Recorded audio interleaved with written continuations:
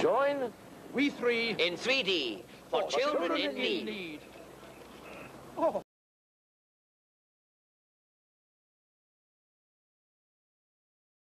Welcome everyone to the Whovians. It's a short cast for a short episode, a special episode with Dimensions in Time. It was made as a 30th anniversary tribute to Doctor Who. It had all the doctors in it, all the ones that were alive, including Tom Baker. It was 3D, but it was short. It was about 12 minutes, maybe a, a minute or two longer. The Doctor's arch rival, the, the Rani, has landed him in Albert Square, and she's pushing him backwards and forwards in time. Well, the, uh, the Doctor's characters change, the incarnations, and the East Enders get older and younger as the story progresses. Madam, what year is this? 2013. And that's as far as I'm going to go. I'm not going to tell you any more. What did uh, we think about it? Oh. Good luck, my dears. Let's go to Lady Neo. I liked it. It was good. The plot was a bit mediocre, but um, the nostalgia really was the factor.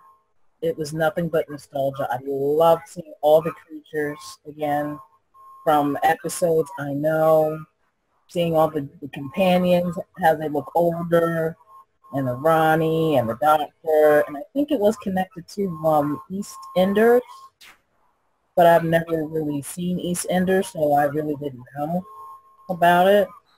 But from a Doctor Who standpoint, I really liked it. Um, as I said before, EastEnders standpoint, I really don't know. But I would give it a rating of um, a 7.5 out of 10. Thank you. 7.5. Spinning the globe and over to England where Doctor Who is from. Craig, what did you feel about Dimensions in Time? Uh, for me, this episode was complete magic. Uh, like I just remember it so well. Uh, I recorded it on VHS at the time, and I remember all the even before the episode started. I remember when Jon Pertwee came into the Noel's House party and presented it, and then the viewers had a vote whether they wanted Mandy or Big Ron of the second part because now we've got a great opportunity for you to influence the outcome of Doctor Who's adventure. If you think that Mandy should be helping the Doctor, there's one phone number, or if you think it's Big Ron, it's the other. So for Mandy, it's 0891 11 4455, but if you think it ought to be Big Ron, it's 0891 11 4466. And when you make your call, you'll be invited to make a pledge for children in need. So you'll not just be helping the doctors, but you'll actually be helping children everywhere. So remember, tomorrow night, 6.45, on the house party, you can find out what the outcome of your voting is. and in the episode it was Mandy who saved the day. Where do I start? My only my gripe, my first gripe is the the drum and bass theme on the theme tune. I wasn't too keen on uh, it being sped up that fast. Uh, kind of like uh, Sylvester McCoy's theme tune better. I loved Tom Baker's costume on the first uh, sequence. I was missing the scarf. I would have preferred his classic scarf than the red scarf, but um, it was just brilliant. The Cutty Sark scenes with Ace and Sylvester McCoy, seeing Colin Baker with, with Ace. Hey, you're not the doctor. Yes, I am, Ace. We seem to have slipped a groove in time. The whole mix-up of all Doctors and Companions was just brilliant. It was just, it was a treat, man. It was a treat. The Rani was just fantastic as ever. She, this was her, I think it was her best performance as the Rani. Oh, Doctor, I'm going to miss you so little. she was just amazing. Uh, I, I love the one-liners uh, when she says um, "pickled in a jar," like gher- pickled in time, like gherkins in a jar. It's just brilliant. Uh, I liked how EastEnders was mixed in as well. So I love the bit with Pat Butcher and the Cybermen coming towards her, and she's like, "Are you messing me about with?" It's just brilliant. It's classic Pat. and there's a scene where in the garage there's I think with the two Mitchell brothers when they say, "Oh, what are you doing in here?" and and they say, and then the assistant says, "Oh, I'm looking for the doctor if that's any of your business," and then they say, "Oh, he lives at number one Albert Square, Doctor Legg." And then she says, "Doctor who?" It's just brilliant. And in in the sequence before that, you can actually see Ian Beale walk past, and he's a classic EastEnders. He's one of the longest serving EastEnders cast members still in EastEnders. So little things like that was it was just brilliant. Um, yeah, and even K9 was in it. I mean, K9, the Brigadier, the Sixth Doctor, brilliant, man. I'm going to give it a 10. Oh, great. A 10. a 10 from England. Now back over here to the United States. The Brigadier. Susan, what did you think? I was totally amazed by the...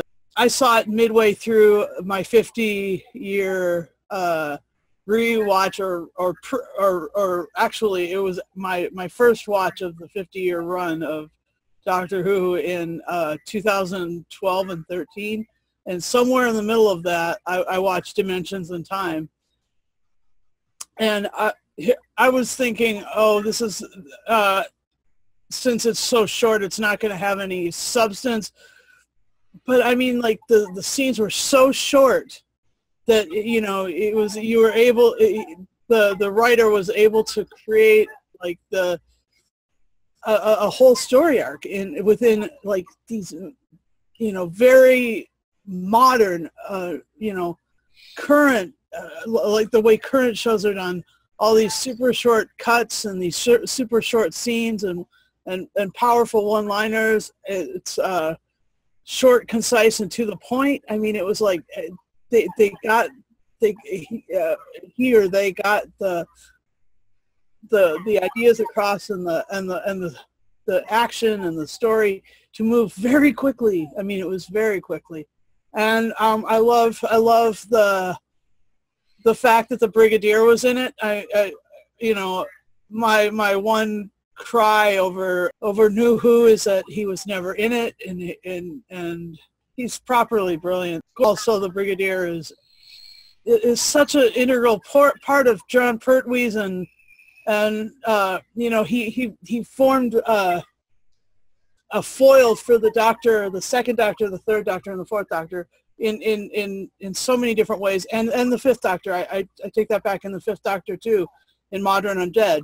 You know, and and then and then there wasn't he wasn't in anything until until Battlefield, and then and so this brought him together with the Sixth Doctor, and the Sixth Doctor was finally able to meet in the context of the story, and so it you know I, I call it canon because you know for for so many reasons the like he, he's integral to the the the story development of every single Doctor, uh, it, it, and every sing and and the whole story of the Doctor, you know of the the Time Lord from Gallifrey. He's not he's not missing from any of their of any of their lives, and so that's fun. And then um, I really enjoyed I really enjoyed like how uh, how they did the companion swap.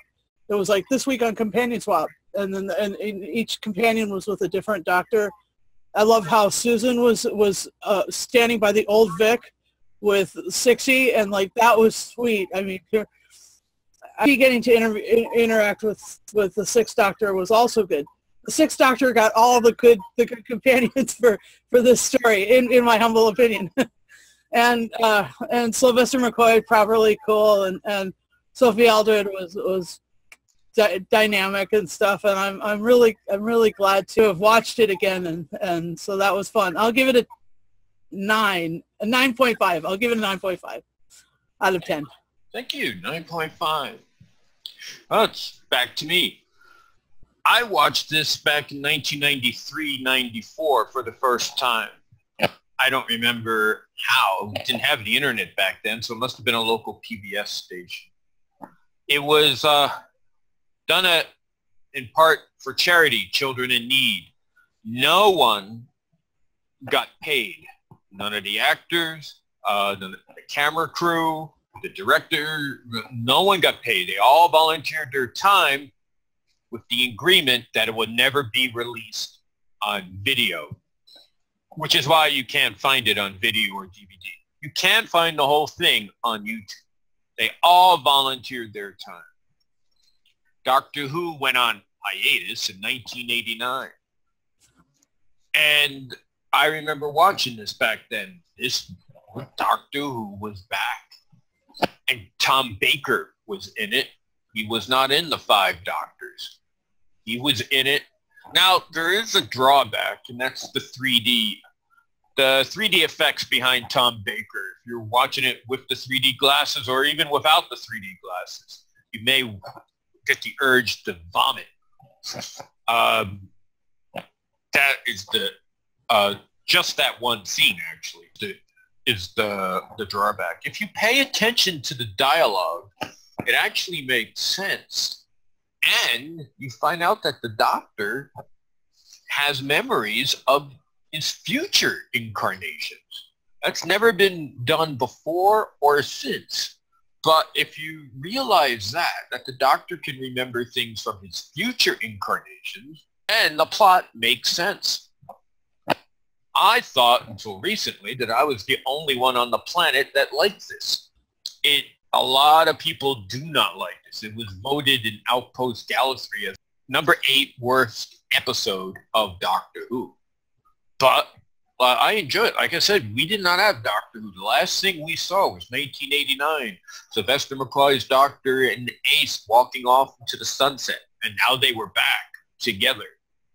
All the Doctors it was like they uh, never forgot how to play their characters, all the doctors.